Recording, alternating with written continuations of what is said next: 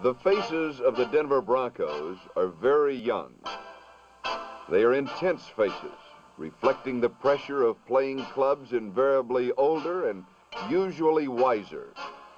But they are also confident faces that love to play.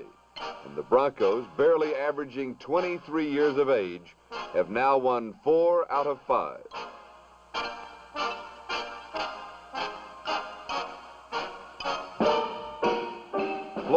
Number 44, recovered from injuries, capitalized on the best Denver line play of the year by setting a Bronco rushing record of 146 yards. His total for the past two games, 275 yards, which in Denver used to be a good season.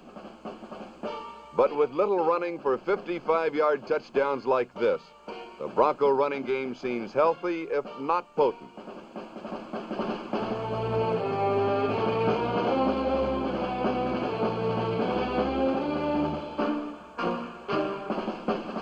Quarterback Steve Tensi, number 13, has been hobbled by injuries too. And although Marlin Briscoe has substituted magnificently, Tensi is becoming the performer the Broncos need to become a title contender. Tensi threw for over 200 yards and two touchdowns.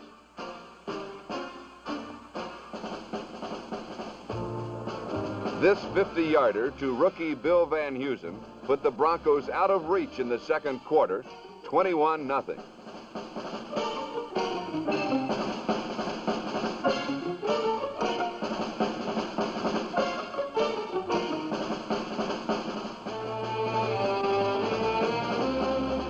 Van Heusen isn't the only rookie surprise.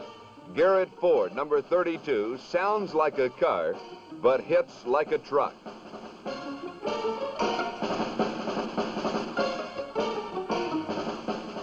His 17-yard run in the fourth quarter carried him into an end zone apparently spread evenly with hot coals by the now desperate Patriots. As easily as the Broncos moved the ball in the right direction, the Patriots moved in the wrong one.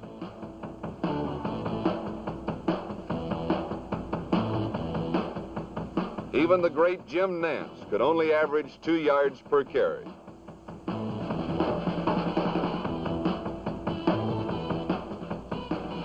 Defensive ends Pete Duranko, number 55, and Rich Jackson, number 87, combined to dump Boston quarterback Tom Sherman on several occasions. And when they weren't on his back, the Broncos secondary was, as they intercepted four of his passes.